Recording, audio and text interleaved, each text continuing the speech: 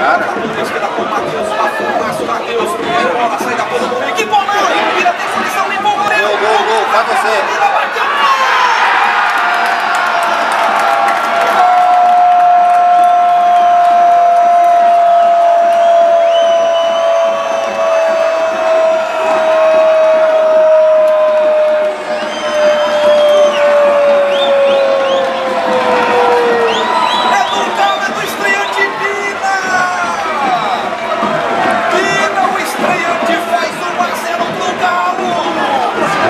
Partiu o levantamento fechado. Empata o jogo do Madeira.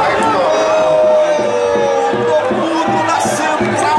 Luizinho cobrando falta.